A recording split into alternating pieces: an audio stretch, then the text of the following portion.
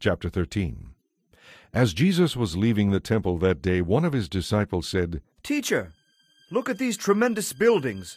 Look at the massive stones in the walls. Jesus replied, These magnificent buildings will be so completely demolished that not one stone will be left on top of another. Later, Jesus sat on the slopes of the Mount of Olives across the valley from the temple. Peter, James, John, and Andrew came to him privately and asked him, When will all this take place? And will there be any sign ahead of time to show us when all this will be fulfilled? Jesus replied, Don't let anyone mislead you, because many will come in my name, claiming to be the Messiah. They will lead many astray, and wars will break out near and far, but don't panic. Yes, these things must come, but the end won't follow immediately. Nations and kingdoms will proclaim war against each other, and there will be earthquakes in many parts of the world and famines. But all this will be only the beginning of the horrors to come. But when these things begin to happen, watch out. You will be handed over to the courts and beaten in the synagogues. You will be accused before governors and kings of being my followers. This will be your opportunity to tell them about me. And the good news must first be preached to every nation.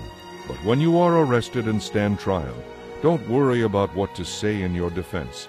Just say what God tells you to. Then it is not you who will be speaking, but the Holy Spirit. Brother will betray brother to death, fathers will betray their own children, and children will rise against their parents and cause them to be killed. And everyone will hate you because of your allegiance to me. But those who endure to the end will be saved. The time will come when you will see the sacrilegious object that causes desecration standing where it should not be. Reader, pay attention. Then those in Judea must flee to the hills. A person outside the house must not go back into the house to pack. A person in the field must not return even to get a coat. How terrible it will be for pregnant women and for mothers nursing their babies in those days and pray that your flight will not be in winter, for those will be days of greater horror than at any time since God created the world, and it will never happen again.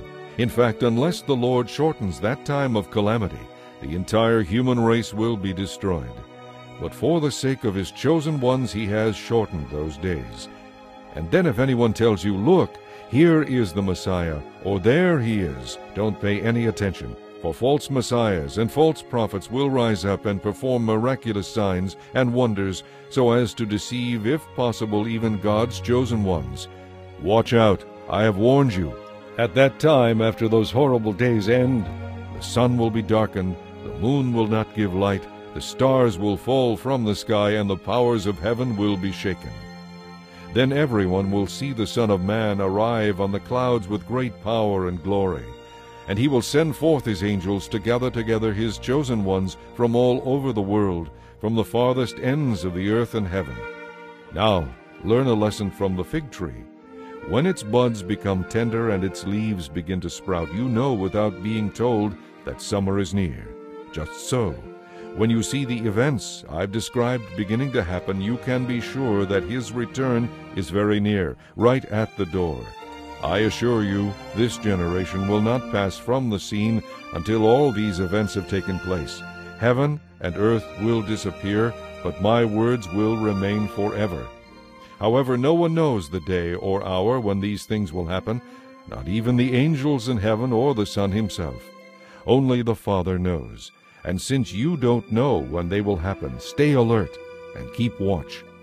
The coming of the Son of Man can be compared with that of a man who left home to go on a trip.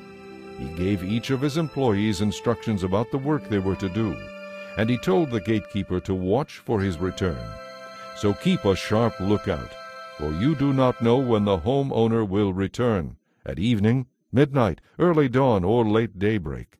Don't let him find you sleeping when he arrives without warning. What I say to you I say to everyone. Watch for his return.